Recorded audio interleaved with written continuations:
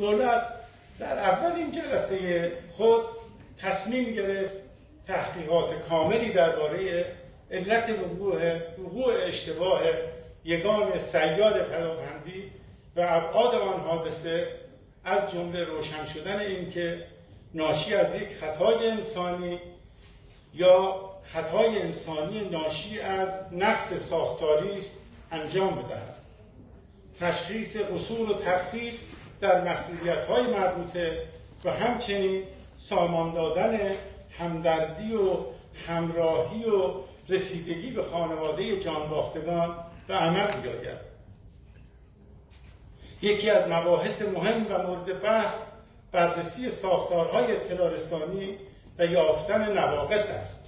ما باید از این حادثه درسهایی بگیریم و انتظار می رود بعد از این ماجرا ما به نحوی سیستم های پدافندی ما را ارتقا دهیم که احتمال خطای انسانی در آنها به صفر برسد. و این امر قطعا صورت خواهد گرفت و قطعا دنبال خواهد شد. و ساختارهای اطلاع رسانی ما دقیق به هنگام در مواقع مهم و حیاتی اصلاح شود. طرحی را در این مورد به شکل آینامه در دولت مطرح خواهیم کرد. ما از این چرخه معیوب باید خارج شویم. بنابر مباحثی که در دولت صورت گرفت وزرا به خانواده ها را خواهند رفت و در کنار داغداران داغ و ازای خودشون و دولت رو ابراز خواهند کرد. قطعا تصمیماتی برای اینکه تجلیل در شعن ملت ایران صورت بگیره صورت خواهد گرفت. در این میان نباید فراموش بکنیم که ریشه این اتفاق ناگوار در کجا بود و از کجا آغاز شد. از همان شبی بود که رژیم آمریکا تصمیم به ترور بزدلانه سردار سلیمانی گرفت.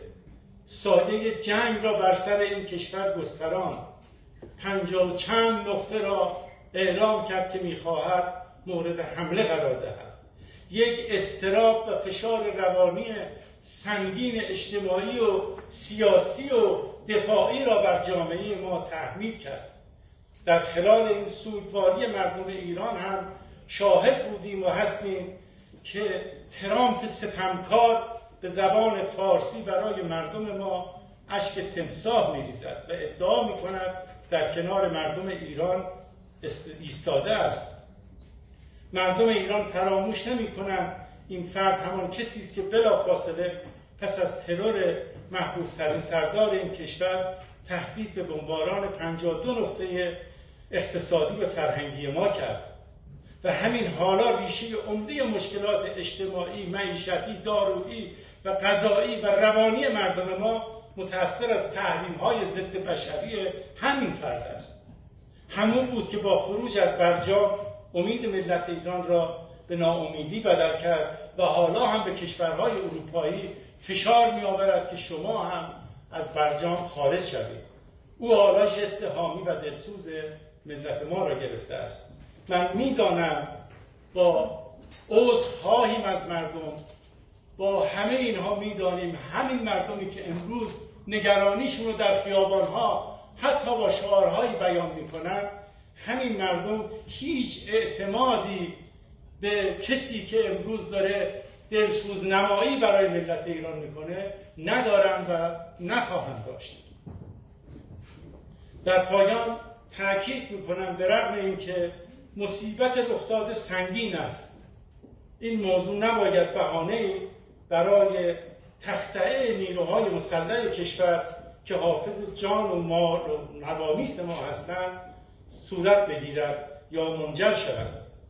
بروز این خطا نباید باعث شود که زحمات و جانفشانی های نهادهای نظامی و دفاعی ما را نبینیم. ولی معتقدیم باید دو دغدغه اصلاح ساختارهای پدافندی و اصلاح ساختارهای ترارستانی و واقعگویی در آن واحد را هم دنبال کنیم. ولی قطعا همه ما اجازه نخواهیم داد که در پی تضعیف نیروهای مسلح کشور ما عدهای شادمانی کند.